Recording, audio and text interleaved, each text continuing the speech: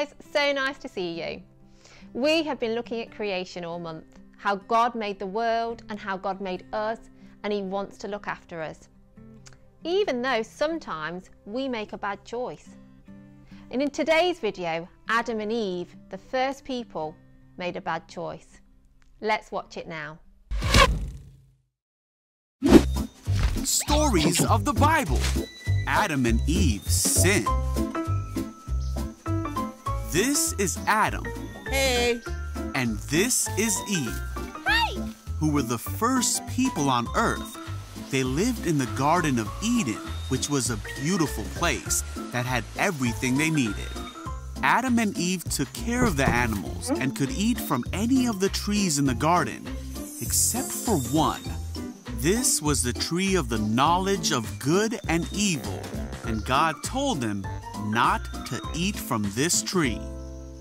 There were lots of animals in the garden, but the serpent was the most clever of all the wild animals God had made.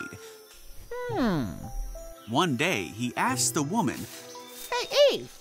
Did God really say you must not eat the fruit from any of these trees in the garden? no. Eve said that they were able to eat from all of the fruit trees except the fruit from the tree in the middle of the garden. For God said, You must not eat or even touch it. If you do, you will die. No, that can't be. You won't die, said the serpent. God knows that as soon as you eat it, you will be like God, knowing both good and evil. oh. The woman was convinced. She saw that the tree was beautiful and its fruit looked delicious, and she wanted the wisdom it would give her. So she took some of the fruit and ate it. Then she gave some to Adam, and he ate it too. At that moment, their eyes were opened, Oh, no. and they suddenly realized they weren't wearing clothes and were embarrassed. So they sewed fig leaves together to cover themselves. When the cool evening breezes were blowing, Adam and Eve heard God walking about in the garden, Hide. so they hid from God among the trees. Then God called to Adam, Where are you? Adam said, I heard you walking in the garden, so I hid. I was afraid because I was naked. Who told you that you were naked? God asked. Did you eat from the tree I told you not to eat from? Adam said, It was the woman you gave me who gave me the fruit, and I ate it. Then God asked Eve, What have you done? The serpent tricked me, she replied. That's why I ate it. Then God punished the serpent by making it so he would crawl on his belly from then on. He told Eve that she would have great pain in her life. Then God said to Adam that because he listened to Eve and did not obey what God had told him to do, his life would be very difficult. He would have to work hard to get food to eat, God said, for you were made from dust, and to dust you will return. Then God made them clothing from the animals. But God knew that Adam and Eve could no longer live in the garden because of their sin, so he sent them away and closed up the garden.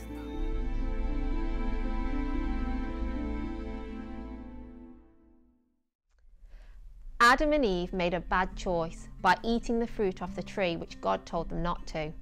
But God still loved them.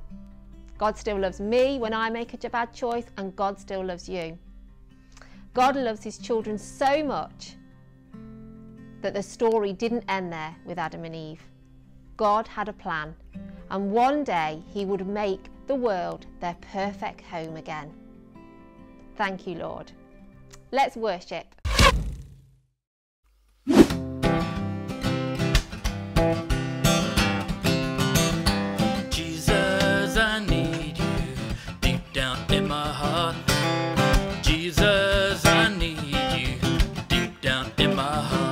Talking about deep, deep, down, down, deep down in my heart. I'm talking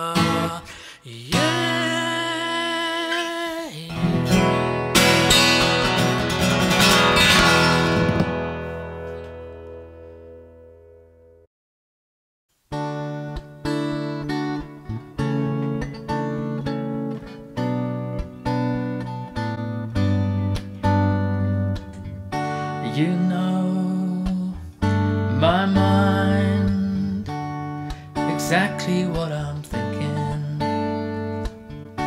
You know my dreams, you're with me when I'm sleeping.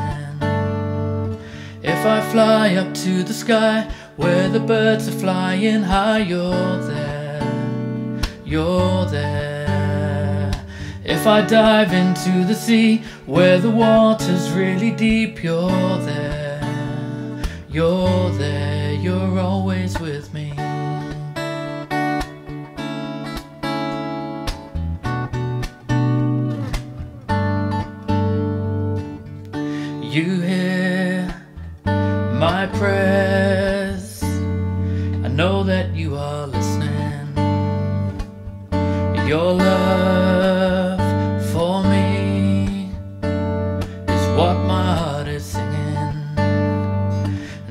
Fly up to the sky where the birds are flying high, you're there, you're there.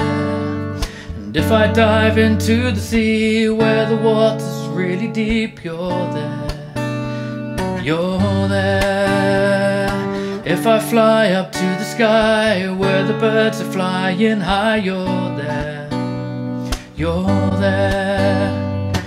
I dive into the sea where the water's really deep, you're there, you're there, you're always with me. You're always with me. You're always with me. You're always with me.